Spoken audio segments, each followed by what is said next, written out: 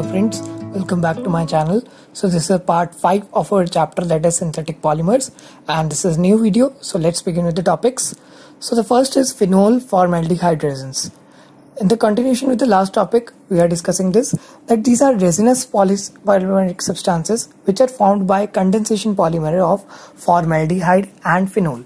So formaldehyde और phenol के condensation polymerase करेंगे तो ही फिनोल फॉर्मेल्डिहाइड नाम बना राइट सो so, इसका मोस्ट कॉमन एग्ज़ाम्पल है बैकेलाइट राइट एंड बेकेलाइट क्या है? It is a condensation polymer manufactured by treating phenol with formaldehyde in the presence of acidic और बेसिक कैटलिस्ट फिनोल और formaldehyde की condensation करेंगे और इससे बेकेलाइट बना सकते हैं in the presence of acid और बेसिक कैटलिस्ट सो यहाँ पर मैंने बेसिक कैटलिस्ट लिया and we get the mixture of ortho and para hydroxy benzyl alcohols so यहाँ पर हाइड्रोक्सी बेंजाइल एल्कोहल्स बने हैं।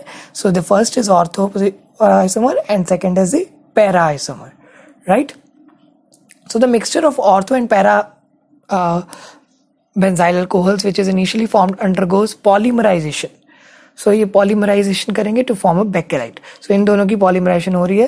And we can see clearly that C H two O H and यहाँ से एच आ रहा था. यहाँ पर एच होता है. And H two O is removed out and this C H two forms a bond here and इस तरीके से बॉन्ड बनते रहते हैं. एंड यहाँ पर जो सी एच टू था, वो इसके साथ बॉन्ड बनाएगा in the next chain and यहाँ पर एक पूरा नेटवर्क बन जाता है of this different polymers so this is a cross linked polymer called the Bakelite right so इस तरीके से इसकी रिएक्शन होती है. And then we have the characteristics that is cross link Bakelite as thermosetting polymer right Bakelite जो है, उसकी अगर लो डिग्री ऑफ़ पॉलीमरेशन होगी तो सॉफ्ट बैकेलाइट कहेंगे. अगर हाई डिग्री के पॉलीमरेशन होगी तो उसे हार्ड बेकेलाइट कहेंगे right and it is an infusible material and ये यूज़ कहाँ पर होगा? In making electrical goods photograph records fountain pen barrels और कॉम्स एक्सेट्रा इन चीज़ों में यूज़ होगा. Then the next we have is urea formaldehyde resins. अब ये क्या है These are polymeric substances formed by the reaction between urea and formaldehyde.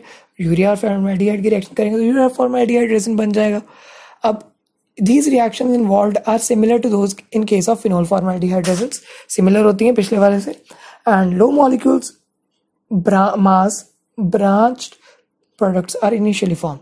So low molecular mass वाले जो ब्रांच प्रोडक्ट्स होते हैं वो पहले फॉर्म होते हैं। एंड लाइक like, यहाँ पर देखेंगे जैसे यूरिया था एंड फॉर्मेल्डिहाइड थे राइट सो यूरिया और फॉर्मेल्डिहाइड की रिएक्शन हुई। यहाँ पर जो एन एच टू है यहाँ से एक एच रिमूव हो जाएगा and it will go towards this and यहाँ पर C H two O H बन जाएगा and it will get attached here so C H two O H get attached here and we get monomethyl urea so monomethylol urea जो बना है, इसमें अगर एक और फॉर्मेल्डिहाइड डालें तो डायमिथाइलोल यूरिया बन जाएगा। यहाँ से भी ये जो है formaldehyde will be change to C H two O H and it will get attach to this N H two group so जितने भी एन एच टू ग्रुप है, वो ऑक्यूपाई हो गया अब डायमिथाइलोल यूरिया बन गया। And we can see that interlinking molecules interlinking of molecule takes place during moulding to form three D residence products तो थ्री डी प्रोडक्ट्स बनेंगे। कैसे? जैसे डायमिथाइलोल यूरिया था इसमें हम फिर से आ, जो है अपना फॉर्मेल्डिहाइड डाली जाएँगे डाली जाएँगे यूरिया भी डाली जाएँगे and we get a network like this right so ये नेटवर्क बन जाता है ऑफ़ कंबाइनिंग पॉलीमर्स सो इस तरीके से हमारा यूरिया फॉर्मेल्डिहाइड रेजिन बनता है. सो so, इसकी रिएक्शन भी आपको याद होनी चाहिए it is important from examination point of view and then this characteristics urea formaldehyde resin chemical inert होते हैं and resistance to solvent so ये यूज़ कहाँ पर होंगे? In the manufacture of laminate such as Formica in the manufacture of trays and other household utensils in solution they form uh, form they are used to increase the shrink resistance of cotton and wool. So cotton shrink ना हो इसलिए यहाँ पर urea formaldehyde resins बनेंगे use होंगे right so next we have is epoxy resins. what are these these are resinous polymeric substances which are formed from epoxide epoxides etc so ये epoxides से बनेंगे and um, uh, such as ethylene oxide and its derivatives. So ethylene oxide or derivatives से बनेंगे and uh, we have the formula of ethylene oxide that is this right so this is CH2O CH2 and it is a cyclic product so ये हमने याद रखना है what is ethylene oxide right then the next uh, its product as uh, polymer जो है इसका पहला रहेगा polyoxymethyline so poly oxymethylene glycol जो है is uh, obtained by polymerization of ethylene oxide in the presence of water और ethylene glycol और इसमें सोडियम हाइड्रोक्साइड कैटलिस्ट यूज़ होगा।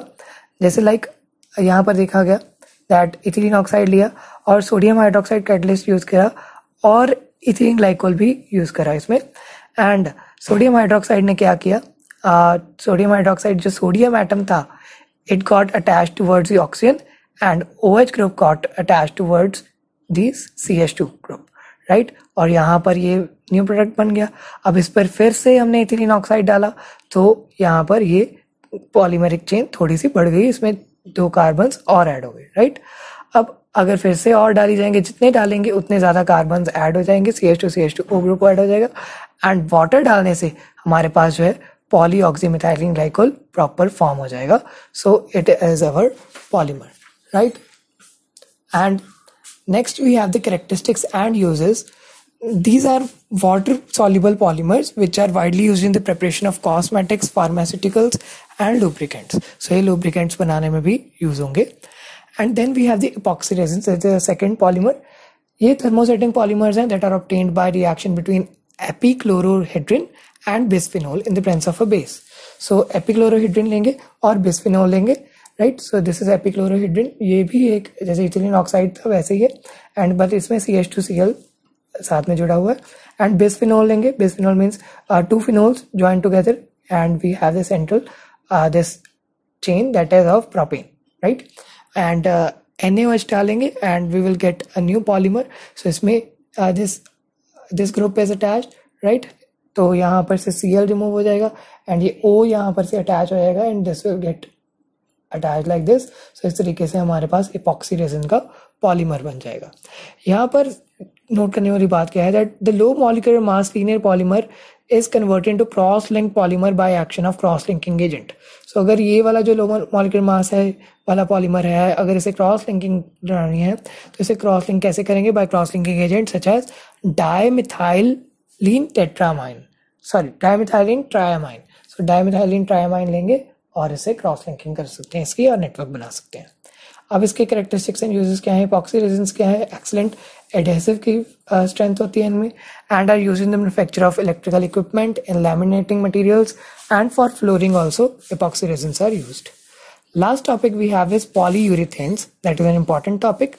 So urethane या कार्बेमेट क्या होता है it is an ester of carbamic acid which is monoamide of carbonic acid so carbonic acid क्या होता है? Like this is a carbonic acid जिसमें कि C double bond O and O H O H on the both side so carbonic acid का uh, monoamide लगा देंगे that will be carbamic acid so carbamic acid क्या होता है? जिसमें कि हमारे पास एक अमाइड जुड़ा होगा.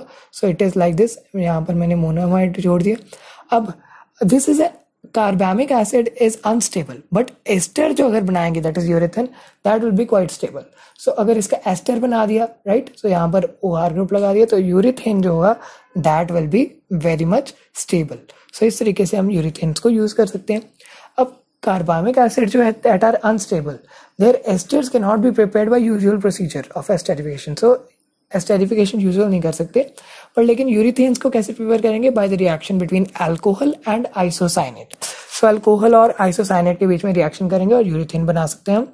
So this is isocyanate I think it is clear to you that isocyanate अगर लिया R N C O right and इसमें अगर मैंने अल्कोहल डाला I will get an ester that is urethane right poly polyurethane में polymers होते हैं that contain urethane linkages अब नेक्स्ट है that is preparation of polyurethanes so polyurethane को कैसे प्रिपेयर करेंगे? By reaction between a diol and isocyanate अब यहाँ पर हमने आइसोसाइनेट नहीं डालना। अब हमने डायोल और डाई आइसोसाइनेट डालना है। अब डायोल जो होगा that is a polyester having C H two O H end groups with molecular mass of thousand to two thousand so ये बहुत ज़्यादा बड़ा मॉलिकुलर मास वाला लेंगे। And it is refer to as prepolymer जो यहाँ पर बनेगा। Right right? सो ये प्री पॉलीमर हम लेंगे।